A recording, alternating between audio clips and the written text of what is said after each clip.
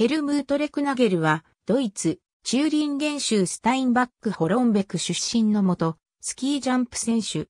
1950年代後半から1960年代前半にかけて東ドイツ代表として活躍した。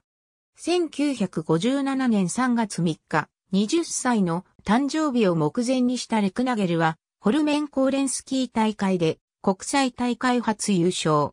伝統あるこの大会で北欧以外の選手として初めての優勝であった。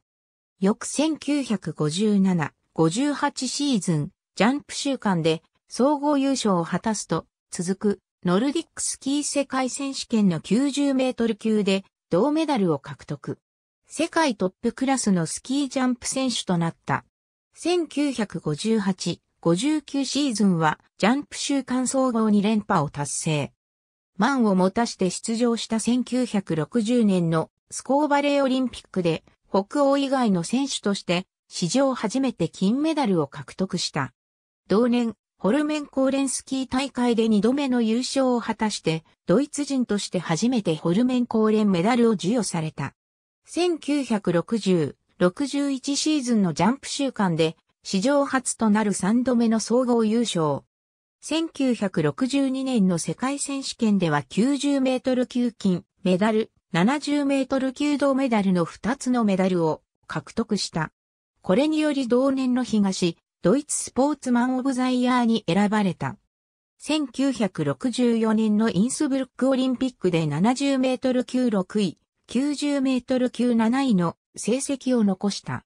同年3月、シーズンを終えた時点では現役を続行するつもりだったが、ハンスラナーコーチと協議した上で5月に現役引退を決意した。現役引退後は獣医学を専攻し、1973年に卒業した。1970年から1990年まで東ドイツのオリンピック委員会メンバーを務めた。また1990年代には国際審判員を務めた。1996年にベルリンのプレンツラワー、ベルク地区でサンティチャウスを開設した。1962年に結婚、娘が一人いる。2007年春、レクナゲルの70歳の誕生日に自伝が発刊された。